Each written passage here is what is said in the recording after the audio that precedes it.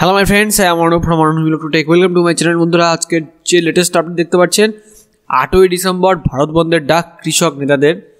সম্পূর্ণ অরাজনৈতিক কারণে ভারত বন্ধের ডাক খুব বেশিবার সম্ভবত দেওয়া হয়নি। তেমনি এক ভারত বন্ধের ডাক দিলেন কৃষক নেতৃত্ব।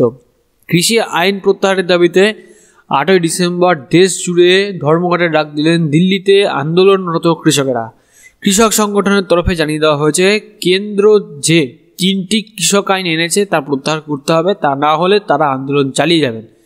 কৃষক নেতার দাবি, বিশেষ সংসদ অধিবেশন ডেকে কেন্দ্রের নতুন কৃষি আইন প্রত্যাহার করতে হবে সরকারকে। শুক্রবার ধরলে কৃষক বিক্ষোভ আন্দোলন নবম দিনে পড়ল বৃহস্পতিবার দীর্ঘ বৈঠকের পরেও কোনো রকম সমাধান সূত্র মেলেনি। পাঁচই ডিসেম্বর, অর্থাৎ শনিবার, ফের বৈঠকে বসার কথা রয়েছে দুই পক্ষের। তার আগেই দেশ জুড়ে ধর্মঘটের ডাক দিলেন কৃষকেরা।